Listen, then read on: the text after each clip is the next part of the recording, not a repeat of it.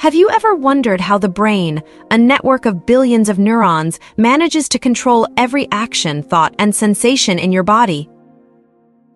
The secret lies in the remarkable structure of neurons and nerves.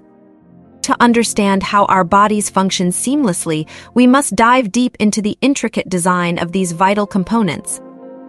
Neurons, the fundamental units of the nervous system, are incredibly specialized cells that transmit information throughout the body. They are designed to perform the complex task of sending electrical signals, enabling us to think, move, and perceive the world around us. Neurons are composed of several key parts, the cell body or soma, dendrites, axon, and axon terminals. The cell body or soma houses the nucleus and other organelles essential for maintaining the neuron's health and function.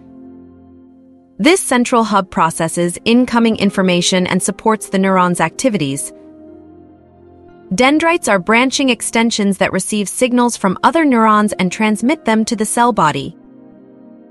These tree-like structures increase the surface area available for receiving messages, allowing for more complex communication networks. Axons, on the other hand, are long, slender projections that carry electrical impulses away from the cell body to other neurons, muscles, or glands.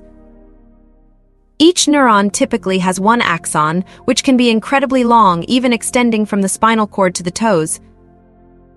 At the end of the axon, axon terminals release neurotransmitters, the chemical messengers that cross the synaptic gap to communicate with adjacent cells. This process is crucial for the transfer of information within the nervous system. Now, let's explore the structure of nerves, which are bundles of axons from multiple neurons. Nerves act like cables, transmitting electrical signals to and from the brain and spinal cord. Each nerve is surrounded by a protective sheath called the epineurium, which also helps in anchoring the nerve in place. Within the nerve, individual axons are grouped into fascicles, which are further wrapped in a layer of connective tissue known as the perineurium. Each fascicle is made up of many axons covered by a myelin sheath, a fatty layer that acts as insulation and speeds up signal transmission.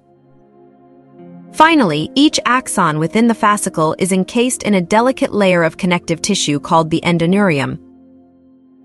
This complex arrangement ensures that nerves are well protected and efficient in carrying signals over long distances. This efficient signaling is vital for rapid responses and coordination of movements. Understanding the structure of neurons and nerves helps us appreciate the complexity of the nervous system and its crucial role in our daily lives. Thanks for watching. See you in the next video.